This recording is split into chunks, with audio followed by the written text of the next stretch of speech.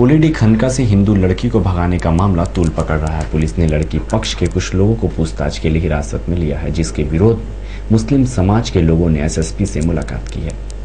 उलेडी खनका निवासी तिवारी की बेटी को पड़ोसी अनवर नामक युवक विवाह की नियत से भगाकर ले गया। इससे नाराज़ तिवारी ने उलेडी थाना में प्राथमिकी दर्ज कराई है, जिसके आधार पर उलेडी पुलिस ने अनवर के साथियों को हिरासत में लेकर पूछताछ शुरू कर दी है। अनवर नाम का खनका में एक मुस्लिम लड़का है जो एक लड़की को आज के तीन दिन पहले लेकर के चला गया है। परिजनों के द्वारा आरोप लगाया गया है कि लड़की का अपहरण करके वो लोग गया ले गया है। इस संबंध में प्राथमिकी दर्ज हो गई है उसके विरुद्ध में।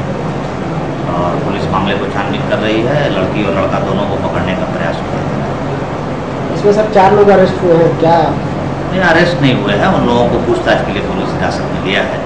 जो उन लड़के के साथी हैं और उनसे मामले की छानबीन की जा रही है कि लड़का कहाँ भागा है भाग करके कहाँ जा सकता है इस संबंध में छानबीन किया जा रहा है। वहीं अनवर के साथियों की हिरासत के लिए जाने से मुस्लिम समाज के लोग गोलबंद हो गए हैं। वे आज सुनेता बाबर खान के नेतृत्व में एसएसपी से मुलाकात की। उन्होंने एसएसपी को बताया कि खनका में आठ घर मुस्लिम का है। उनको लड़की पक्ष से धमकी दी जा रही है। उन, उनको हरदम डर लगा रहता है। उनको सुरक्षा प्रदान किया जाए। देखिए, नौ तारीख को मानगो में उलीडी खान का एक जगह है, जहाँ से एक हिंदू लड़की जो है, एक मुस्लिम लड़के के साथ में भाग गई है।